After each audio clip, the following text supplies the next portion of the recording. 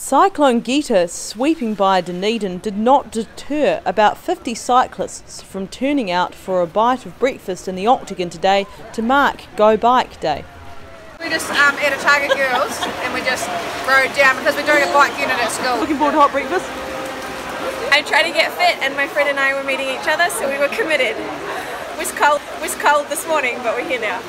Go Bike Day aims to raise awareness of cyclists and Dunedin organiser Ilka Fedor says while there has been positive momentum on cycle lanes from the City Council, there's still more work to be done.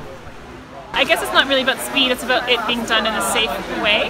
Um, of course, we'd like things to be done and done today, but uh, the main thing is that it's done in a safe way and that cyclists are protected. Some riders had travelled all the way from Canada and Korea for the event. Hilly, very hilly, and somebody needs to talk to the planners who decided to build a street as a wall, but otherwise it's pretty good.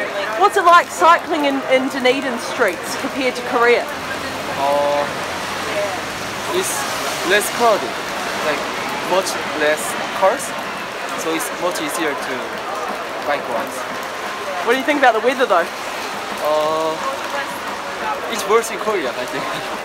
Despite the conditions, this rider was celebrating his sixth bike breakfast and clocking more than a million Ks.